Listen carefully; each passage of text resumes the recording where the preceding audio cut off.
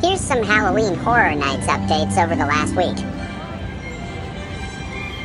The Horror Nights medallion and all the banners from the IP stuff is finally up outside the front of the park. And honestly, it looks beautiful. The food stands are all up and the food has been announced, so you can come check out the menus online. I am most interested in these Ghostbusters themed stand around the New York area right in front. These are fantastically themed and have some of the more unique menu items, I will say, that I've seen in years, so I will definitely be giving these a try. I hope they are as good as they look.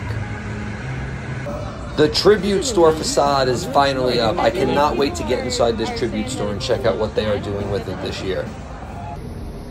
This stand by Animal Actors caught my eye. It looks very, very delicious as it's themed to the Three Sisters house, I believe. And here is all your Mel's Die-In merch. Of course, we purchased some of it. We couldn't stay away.